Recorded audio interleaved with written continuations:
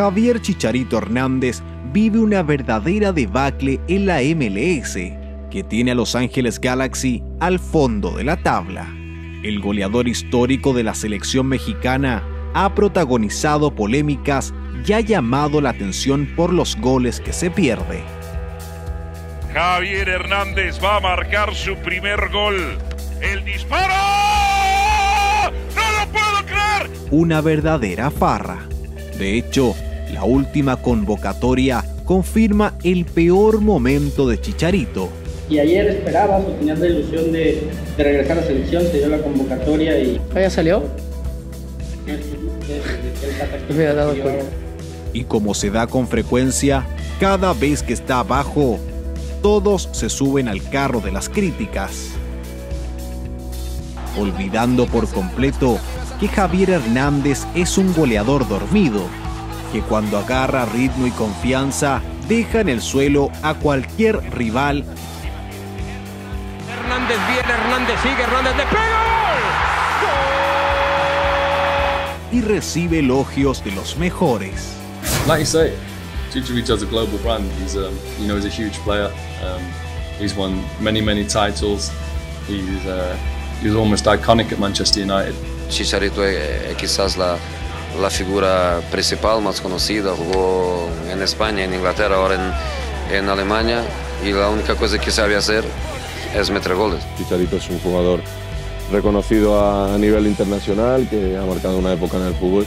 Todos parecen olvidar esos días en que un joven talento en Guadalajara, de familia de cracks mundialistas, brillaba en las chivas y que hace 10 años sorprendió a todo el fútbol mexicano con una increíble venta al Manchester United cuando tenía 20 años. Sean retrocesos o no para mucha gente, sea la liga que no le gusta a mucha gente, desde que me fui al Manchester dijeron que no iba a suceder nada conmigo y aquí estamos. Entonces, ¿qué te, qué, tú, ¿qué, qué, qué, más, ¿qué más te puedo decir? Con estas joyitas brillaba Chicharito.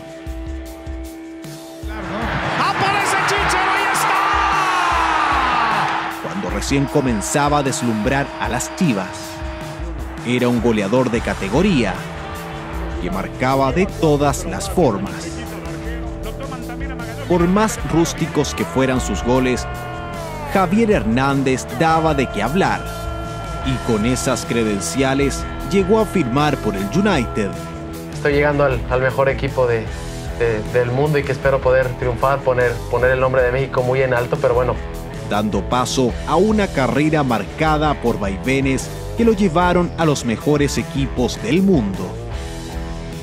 Pese a que no siempre rindió como esperaba, por la selección mexicana siempre estuvo a la altura, llegando a ser el goleador histórico y a anotar en tres mundiales distintos. Hizo cosas importantes, es uno de los goleadores de, la selección mexicana que ha trascendido a nivel internacional y me parece que por eso creo que sí ha hecho historia ahí en la selección, ¿verdad? Me parece un gran chico, un chico muy centrado, muy ubicado, que es un tipo muy perseverante, es un chico que tenía mucha dinámica, eh, no daba balón por perdido y bueno, como rival pues siempre era de cuidado, ¿no? De estar muy pendiente porque nunca paraba y siempre estaba buscando los espacios, así que parece un gran chico y un gran jugador. Un ídolo del fútbol que está dormido, pero todos sabemos que cuando despierta puede lograr lo que sueña. Regresé como una leyenda del fútbol mexicano.